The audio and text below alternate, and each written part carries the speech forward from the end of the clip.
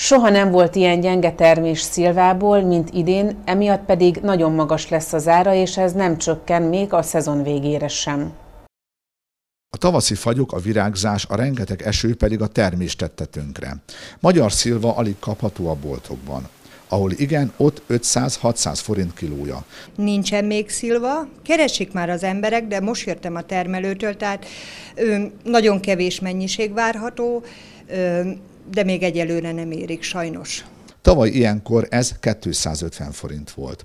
Tavaly ilyen 250-350 forint között mozgott a szilvára, hát idén nem tudom, nagyon kevés várható. A karcagiak sem bizakodóak az idei termést illetően. Izsiás Antal agrármérnök mutatja, mi a gond az idei terméssel. Ez egy valószínű szilvamolyjal fertőzött szilva, amelyik megfúrta és beletette a petéjét, annak következtében ugye hernyó fészkelhet bele, most éppen nem látjuk, de lényegében azt jelenti, hogy a hernyója fejlődik ki a szilvában, és amikor erős a fertőzés, akkor az egész termést tönkredeheti.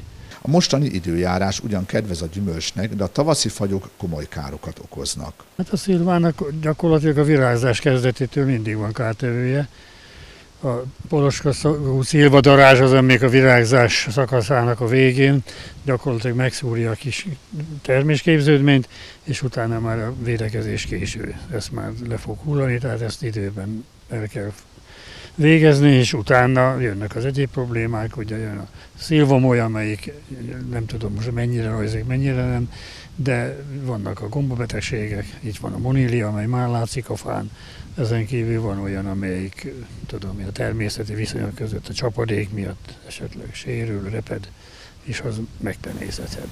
Mint egyéb gyümölcsök is érzékenyek a tavaszi időjárási viszonyokra, beporzási viszonyokra, később ugye a betegségekre, meg vannak olyan fajták, amelyek időszakosan teremnek, tehát nem minden év vannak rendszeres nagy termést, tehát szakaszosan teremnek. Ide tartozik például a Stanley Silva, vagy itt van a zöldringló, amelyik egyik többet, másik évben kevesebbet terem. Ez a termés mennyiség, ha úgy rendszeresen ennyire elfogadható lenne, de nem mindig jellemző, hogy ennyi van, van mikor több. Az se jó sok van, mert a fát teszi, és utána gyakorlatilag az egész fakoronát újra kell alakítani. A szilvát hashajtóként használják. A székrekedés természetes ellenszere.